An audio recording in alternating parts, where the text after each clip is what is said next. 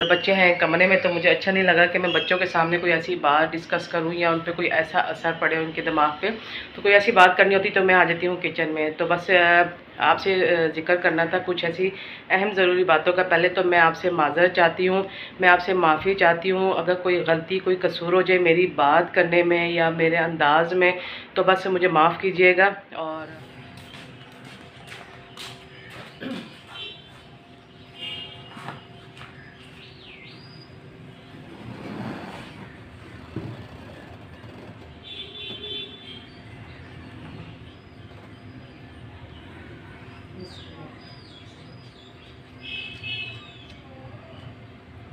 असलम मेरे प्यार यूट्यूब की फैमिली आप लोग कैसे हैं? ठीक ठाक हैं? खैरियत हैं? अलहमदिल्ला अल्लाह का शुक्र है, मैं भी बिल्कुल ठीक ठाक हूँ। पहले तो तह दिल से आप लोगों के लिए दुआएँ करती हूँ कि जहाँ रहें, खुश रहें, आबाद रहें और कोई गम परेशानी आप तक ना आए। आमीन सुम आमीन तो आप लोग भी आमीन कह दीजिएगा। और जी माशा देखें मौसम कितना अच्छा ज़बरदस्त बना हुआ है, बादल है और मैं बना रही हूँ कोफ्ते। और ये देखेंगे कीमा माशा एक किलो कीमा है ये। और इसमें मैं क्या डालूँगी वो भी मैं आपको दिखा देती हूँ। मैं है और ये लहसुन अदरक को मैंने बारीक बारीक कूट लिया है और ये प्याज है। बस ये जाएगी इसमें। और ये मैंने जी आसान काम करने के लिए कोफ्तों का मैंने मिसाला मंगा लिया था। और बस ये आधा मिसाला जाएगा, ये इसमें ऐड कर देते हैं। फिर पहले तो खशखाश को साफ़ करते थे, चने भूनते थे, उनको पीसते थे। अब ऐसा कोई भी वो नहीं है, मसला। बस ये देखिए, काफ़ी सारा मिसाला मैंने इसमें ऐड कर दिया। और थोड़ा सा बचा लूँगी, बुनाई में काम आएगा। और बस ये थोड़ा सा जाएगा नमक। नमक भी कम डालूँगी क्योंकि मसाले में होता है। और ये देखेंगे माशाल्लाह से अब मैं हाथ की मदद से इसको अच्छे तरीके से मसलूँगी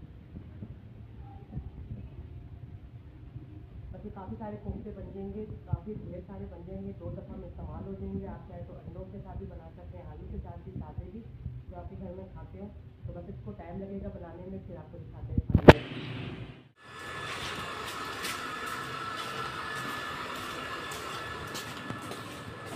तो जी, माशाल्लाह माशाल्लाह, ये देखें जी, कोफ्ते हमारे कितने प्यारे और गोल शेप में बने हैं।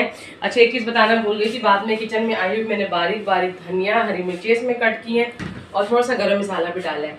अच्छा ये देखें, ये क्या है? कच्चे, कीमे की टिक्कियाँ, ये हमारे पंजाब साइड में बहुत ही शौक से खाई जाती हैं।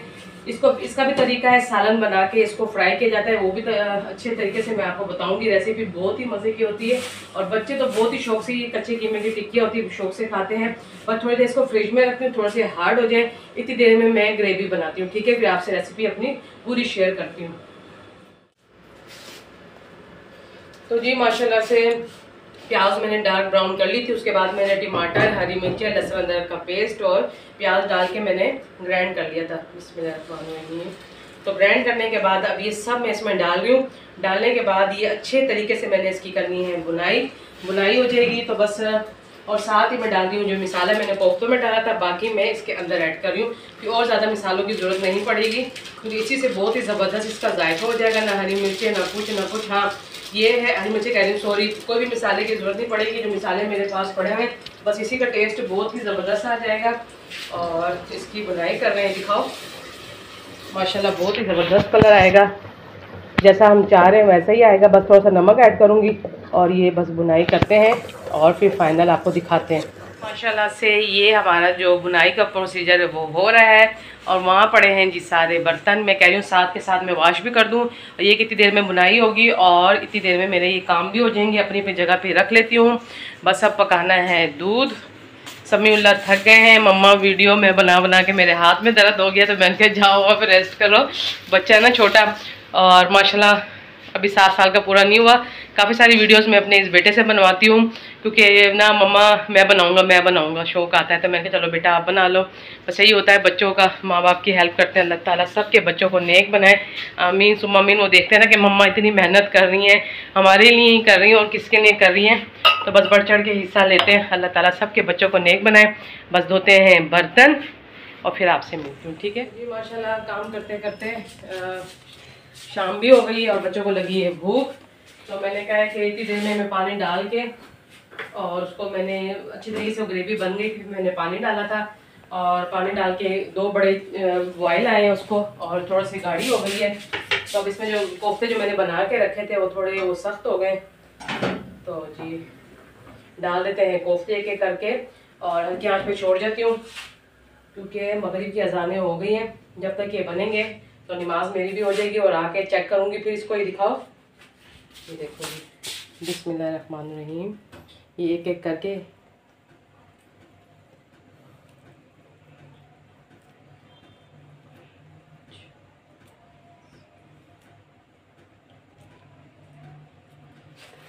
तो दस मिनट गिन के डाल दिए हिसाब से डालें।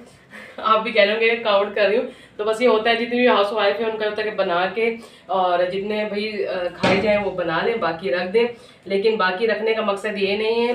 बाकी जो ये बच्चे हैं, ये मैंने अपनी सिस्टर जो दुआ है, उनके लिए अब स्टोर कर देने, कोई डब्बा निकालना है डिस्पोजिबल उसमें डाल के स्टोर कर दूँगी। इसीलिए, क्योंकि अभी सारा मैंने बना के रख दिया तो वो हो जाएगा बासा। जब वो आएँगी तो वो लेती हुई जाएँगे। मुझे पता है कि उन्होंने इनकार करना, नहीं नहीं, आप ही, नहीं नहीं, वो हर बाद में, नहीं नहीं, आप ही लेकिन आप ही है कि सुनती ही नहीं है तो बस वो आएँगी, क्योंकि मेरा दिल होता है कि जो बच्चे मेरी जो बच्चे चीज़ खा रहे हैं, जो मैं स्पेशल कोई ऐसी चीज़ हो, जैसे ऐसे कोई कोफ्ते हो गए, या पुलाव हो गया कुछ तो मेरी पूरी कोशिश होती है कि अजान भी खाए तो अजान भी शौक से खाएगा, वो बहुत प्यार करता है, माशाल्लाह बहुत अच्छा बच्चा है तो जो मैं अपने बच्चों के लिए बनाती हूँ, मेरी कोशिश होती है कि वो बच्चा भी खा ले, और उनकी जो मम्मा है ना, जो दुआ है वो, नहीं नहीं, आप ही नहीं नहीं, उनका यही होता है तो मैं तो नहीं सुनती बिल्कुल दुआ की बात मैं कहती हूँ, नहीं, मैं तुम्हारे लिए नहीं, मैं जान के लिए दे रही हूँ।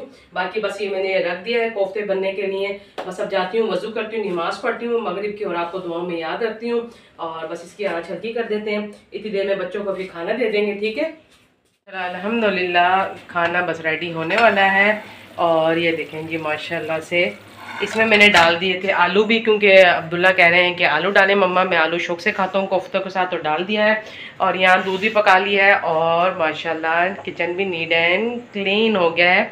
बस जाके समीउल्ला को देखती हूँ कि समीउल्ला क्या कर रहे हैं। और समीउल्ला को भूख बस कुछ ना कुछ देते रहो। उनको भूख नहीं लगती, बस खाने की भूख नहीं है, बाकी और कुछ देते रहो, ऊपर की चीज़ें।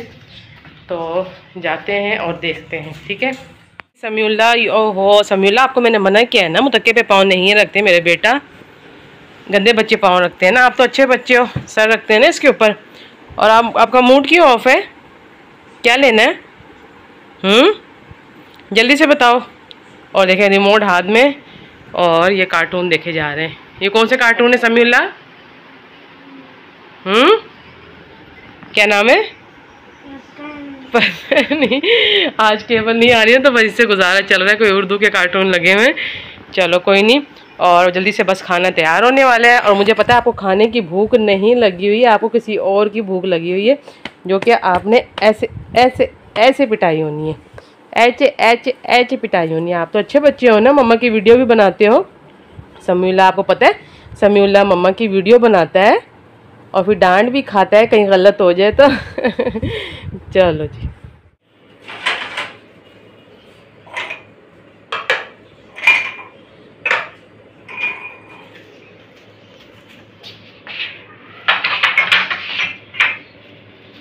तो माशाल्लाह से पीते हैं चाय, क्योंकि हो गया चाय का टाइम और ये देखेंगे। माशाल्लाह माशाल्लाह। ज़बरदस्त चाय तैयार है। जिसने जिसने पीनी आ जाए। बिस्मिल्लाह करें।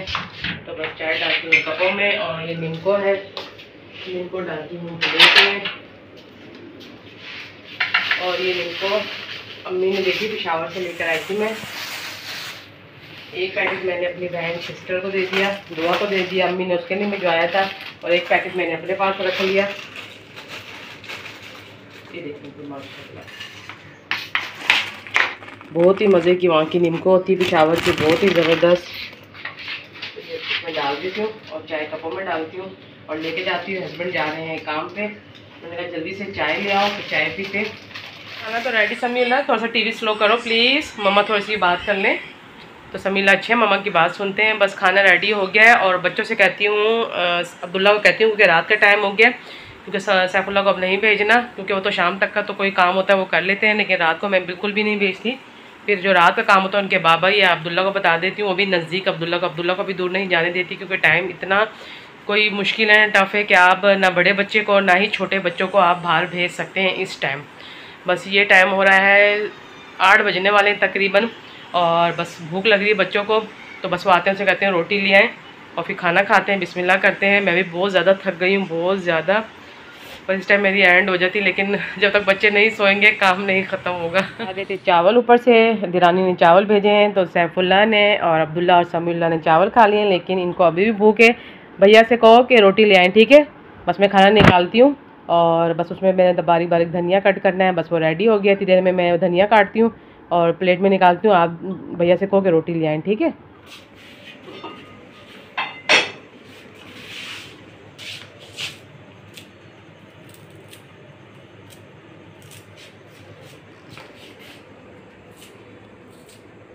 माशाल्लाह से कोफ्ते तैयार हो गए, कोफ्ते आलू, पहले तो कोफ्ते थे, उसके बाद आलू डल गए। तो बस ये बारीक बारीक धनिया काट देते हैं, इसका बहुत ज़बरदस्त है। आलू गोश हो अरबी गोश हो, कोई भी मतलब सालन हो तो आप उसमें डाल दें तो बहुत ही ज़बरदस्त जायका होता है और सीज़र भी गिर गई फिसल के, ये ऊपर रख देते हैं और ये देखेंगे। माशाल्लाह माशाल्लाह, ज़बरदस्त, माशाल्लाह, ये देखें कितना गाढ़ा और ज़बरदस्त बना है। और कोफ्ते बिल्कुल भी नहीं टूटे, बिल्कुल भी नहीं टूटे। और बस बच्चे लेने गए हुए हैं रोटी, बस वो लेकर आते हैं। तो फिर खाते हैं खाना, ठीक है जी?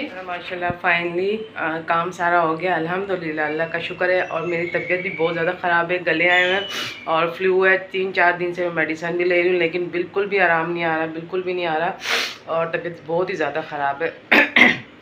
आपको मेरी आवाज़ से पता चल ही रहा होगा। बस मैं अब मैंने कहा था कूलर भर लेती हूँ और ठंडा पानी थोड़ा सा बना लेती हूँ क्योंकि जो मेरे सुसा है वो थोड़ा सा ठंडा पानी लेंगे क्योंकि अभी है गर्मी। बाकी मेरा भी गला ख़राब है, दोनों बच्चों का भी गला ख़राब है तो हम बिल्कुल नॉर्मल बोतल का पानी पी रहे हैं। तो बस मैं किचन में आ गई थी और बच्चे हैं कमरे में तो मुझे अच्छा नहीं लगा कि मैं बच्चों के सामने कोई ऐसी बात डिस्कस करूँ या उन पर कोई ऐसा असर पड़े उनके दिमाग पे।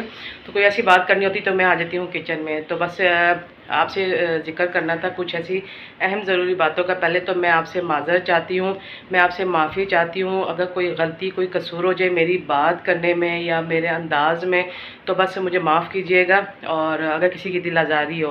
वैसे तो हम नहीं चाहते कि किसी की दिल आज़ारी हो, लेकिन आप लोग ऐसे कमेंट्स दस में से या पंद्रह में से दो या एक ऐसे कमेंट्स होते हैं जिसकी वजह से हम बहुत ज़्यादा, ये कह लें कि आप हमारे फैमिली मेंबर हैं, आप हमारी फैमिली हैं, लेकिन एक दो कमेंट्स ऐसे आते हैं जिसकी वजह से हम बहुत ज़्यादा डिसहार्ड हो जाते हैं और हम बहुत ज़्यादा उस कम, कमेंट्स को लेके ज़्यादा ही हम सोच में चले जाते हैं। क्यों ना जाएँ? क्योंकि हम भी इंसान हैं हमारे दिल हमारे सीने में भी दिल है और हमने ये माइंड बना के रखा था मैंने और दुआ ने कि वैसे तो हम ब्लॉग कम ही एक दूसरे के साथ बनाते हैं। माशाल्लाह हफ़्ते में एक से दो या तीन भी चक्कर हमारे एक दूसरे के साथ हो जाते हैं लेकिन हमारी कोशिश होती है कि भाई एक ब्लॉग बना लें ज़्यादा से ज़्यादा या मतलब पंद्रह बीस दिन में दो ब्लॉग एक दूसरे के साथ बना लें चैनल पर डाल लें।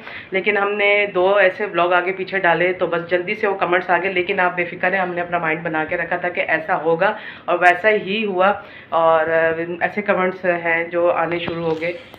से आप हमारी फैमिली हैं और जितने हमारे सब्सक्राइबर हैं, हमें पूरा यकीन अपने सब्सक्राइबर पे कि हमारे जो जिन्होंने हमें सब्सक्राइब किया, वो कभी भी हमें बैड कमेंट्स कभी भी नहीं करेंगे क्योंकि वो हमें दिल से चाहते हैं, प्यार करते हैं, इतना इतनी दुआएँ देते हैं और हम दोनों भी आप लोगों को इतनी इतनी दुआएँ देते हैं। हम यही हमारा होता है कि जो हमारी वीडियो वाच कर रहा है, हमें इतने प्यार प्यारे कमेंट्स कर रहा है तो अल्लाह उसको सलामत रखे, उनके वालदेन को, उनके बच्चों को और उनकी ज़िंदगी आगे आसान करें। आमीन सुमामीन तो हम आप जैसे मर्ज़ी कमेंट्स कर कर दें, लेकिन हमारे दिल से आप लोगों के लिए दुआएँ ही निकलेगी और इन वो कबूल भी होंगी।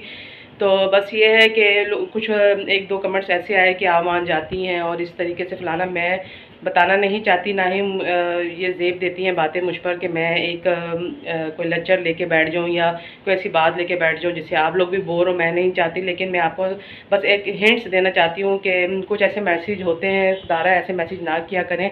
इससे किसी की दिल आज़ारी होती है और दिलों में खुदा बसता है तो किसी को नाराज़ ना करें अपने से। हम इंटरटेन करते हैं, आपको अच्छी अच्छी वीडियोज़ दिखाते हैं, इस वजह से कि आप घर बैठे इंटरटेन हो, आपको कुछ हम आपसे सीखें, कुछ आप हमसे सीखें तो ऐसा ना करें और हमारे दिल खफा ना करें। हमें बहुत ज़्यादा तकलीफ़ होती है, हम बहुत ज़्यादा परेशान हो जाते हैं। तो बस ये है कि जितनी हमारी तबीयत ख़राब हो, खांसी, नज़ला, बुखार हो, घर में कोई टेंशन, कोई परेशानी हो, लेकिन हम अपनी वीडियो में हरगिज़ हरगिज़ नहीं लेकर आते। ज़ाहिर बात है, हर घर में कोई ना कोई परेशानी, टेंशन ज़रूर होती है, लेकिन एंगल चेंज होते हैं। तो बस आपसे मैं, या ये कह लें कि मैं इतनी लंबी वीडियो अब बनाऊँ बैठ के बताऊँ कि ये कमेंट्स आए, ये बात हुई है यूँ हुई, फलाना नहीं, हरगिज़ नहीं करूँगी, हरगिज़ नहीं करूँगी। फिर ये कहते हैं ना कि एक वो चुगली में शुमार हो जाता है, वो आप तक बताऊँ और ज़ाहिर बात है आप लोगों, घरों में भी कोई ना कोई परेशानी, टेंशन होगी। अब हम अपनी टेंशन लेके बैठ जाएँ तो आप लोग हो जाएँगे बोर। आप कहेंगे कि हाँ हमारे घरों में परेशानियाँ कम है। वैसे तो अल्लाह किसी को कोई परेशानी, कोई टेंशन ना दे। आमीन, सुम आमीन। तो अब आप लोग खुश रहें, आबाद रहें और, जिनकी शादियाँ नहीं हुई, अल्लाह उनकी शादियाँ अच्छी जगह करे।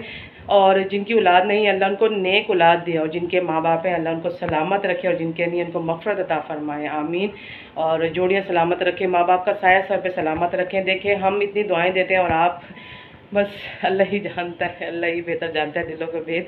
हम कुछ नहीं कह सकते, वही बात आ गई कि हम दुआएँ ही देंगे। तो बस यहाँ करते हैं वीडियो का एंड। मैंने बस आपको थोड़ा सा बताना था कि कमेंट्स सोच समझ के क्या करें। इससे दिलादारी होती है और कुछ भी नहीं होता।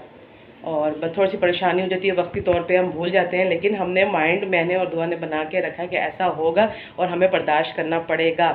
और बर्दाश्त हम करेंगे तो हम आगे लेके अपनी जो हम दोनों बहनें हैं, हम अपनी ज़िंदगी लेके चलेंगे और हमारा रिश्ता मज़बूत रहेगा। किसी